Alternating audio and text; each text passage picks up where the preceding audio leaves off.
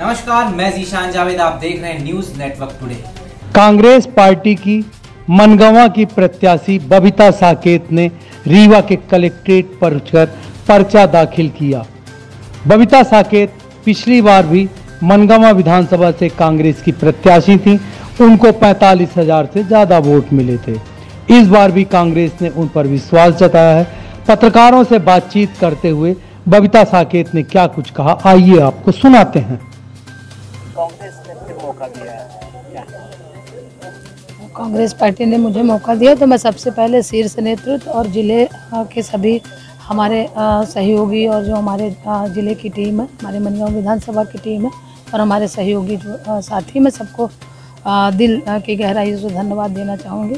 मुझे कांग्रेस पार्टी ने मनियावा विधानसभा से दोबारा मौका दिया है। मैं सबसे पहले मेरी प्राथमिकता होगी, क्योंकि मनगांव विधानसभा एक ऐसी विधानसभा है कि जब से पंडित श्री श्रीनिवास तिवारी जी नहीं रहे, उसके बाद से वहाँ कोई भी काम नहीं हुआ। जो भी काम हुआ है तो कांग्रेस के कार्यकाल का काम हुआ है और पूजनी दादाजी के समय का काम है। वहाँ स्कूल नहीं है मनियावा विधानसभा में रोड नहीं है, शिक्षा की बिल्कुल भी व्यवस्था नहीं है, स्वास्थ्य की व्यवस्था तो बिल्कुल नथिंग है।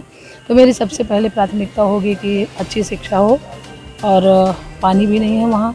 लाल गाँव में तो पानी लोग नहाने के लिए और बर्तन धुलने के लिए भी खरीदते हैं तो पानी की भी मेरी पहली प्राथमिकता होगी और सबसे बड़ी मेरी प्राथमिकता है कि मनियावा विधानसभा के लोग जो भी मध्य प्रदेश के कोने में जाइए तो मजदूरी करते हैं, दस से पाँच हज़ार की नौकरी करते हैं।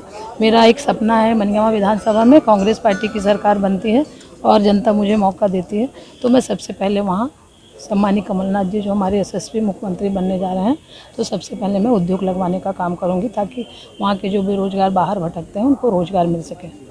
पार्टी में बगावत की इंजीनियर प्रीति अब नहीं है और दूसरी पार्टी से अपनी किस्मत तो कितना असर पड़ेगा? हमारे पार्टी में कोई बगावत नहीं हुआ आप दो बार की विधायक रह चुकी हैं। आपको टिकट नहीं मिली। कांग्रेस पार्टी में कंधे से कंधा मिला के आठों विधानसभा जिताने का काम कर रहे हैं। सब कोई हम साथ में हैं।